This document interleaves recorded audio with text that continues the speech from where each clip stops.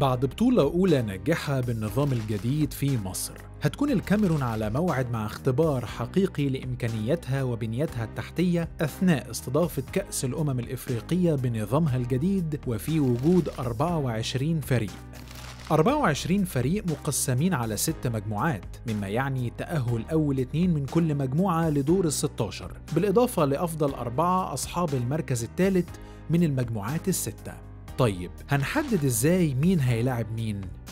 الكاميرون صاحبة الأرض وعلى رأس المجموعة الأولى واللي بتضم بوركينا فاسو وإثيوبيا وكاب فيردي في حالة التأهل كأول هيلعبوا ثالث المجموعة الثالثة واللي بتضم المغرب وغانا وجزر القمر والجابون طب لو تالت المجموعة التالتة مش من ضمن أحسن توالت وقتها بقى هيلعبوا تالت المجموعة الرابعة واللي بتضم مصر ونيجيريا والسودان وغينيا بيساو الخلاصة إن نظام البطولة مليء بالفرضيات اللي هتحدد كل فريق هيلاعب مين في حالة التأهل في كل مركز وبالتالي شرحها هيحتاج فيديو بمدة ساعة فخلينا في منتخب مصر.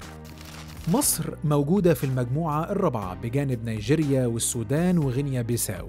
لو اتأهلنا كأول المجموعة هنلاعب تالت المجموعة التانية ولو مفيش تالت متأهل منها يبقى هنلاعب تالت المجموعة الخامسة أو السادسة على الترتيب. أما في حالة التأهل كتاني المجموعة هنلاعب أول المجموعة الخمسة ودي ما فيهاش احتمالات تانية. المجموعة الخامسة فيها الجزائر وسيراليون وغينيا الاستوائية وكوت ديفوار. وأخيرا في حالة إننا اتأهلنا كتالت وقتها هنلاعب أول المجموعة التانية مجموعة السنغال زيمبابوي وغينيا وملاوي. أو أول المجموعة الأولى.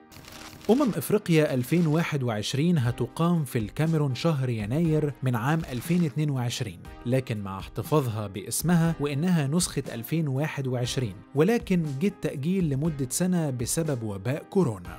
الكاميرون كانت مفترض تستضيف بطولة 2019 لكن بسبب عدم جاهزيتها انتقلت البطولة لمصر والمرة دي كانت الكاميرون جاهزة أخيرا للاستضافة.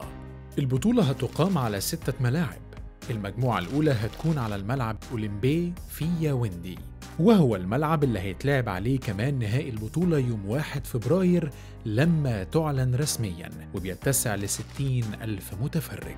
أما مجموعة مصر فهتكون على ملعب رومدي أجيا واللي بيتسع ل 30 ألف متفرج. في حين أن المباراة الثالثة لمصر في المجموعة أمام السودان هتكون على ملعب أحمدو أهيجيو واللي بيتسع ل 42 ألف و500 متفرج.